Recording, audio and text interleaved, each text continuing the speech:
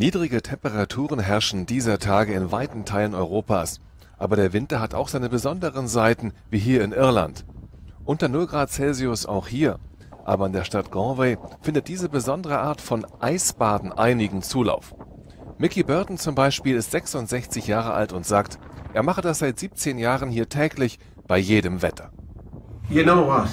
Wissen Sie, man fühlt sich hinterher einfach gut, geistig und körperlich, in jeder Hinsicht. Man fühlt sich einfach gut. Auf der irischen Insel fiel wie hier in der Stadt Cork einiges an Schnee. Insgesamt herrschte in Irland außergewöhnliches Wetter. Man rechnete dort offiziell mit dem heftigsten Schneefall seit 1982. Die extreme Frostfront hat auch den Norden Spaniens ziemlich kalt erwischt. Straßen waren gesperrt, Schulbusse fielen aus, zum Beispiel in einigen Teilen Kataloniens. Hier in der Region Barcelona fiel ungewohnt viel Schnee. Im Norden des gesamten Landes war die Wetterlage so, dass es auch Warnungen vor etwaigen Lawinen gab.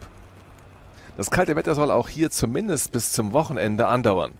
Die kalten Luftmassen stehen unter Einfluss aus Sibirien, weswegen manche Wetterexperten bei diesem Wintereinbruch auch vom Beast from the East reden, vom Beast aus dem Osten. In Großbritannien gab es auf vielen Straßen wegen Eis und Schnee chaotische Zustände. Kaum etwas ging, wie auch diese Krankenschwester in der Nähe von Norwich erfahren musste. Ich muss zur Arbeit. Sie sind Krankenschwester, nicht wahr?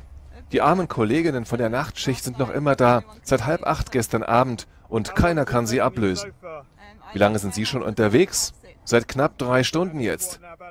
Das dauert heute offenbar alles sehr lange. Ja, ich fürchte, ich komme erst an, wenn meine Schicht eigentlich schon zu Ende wäre.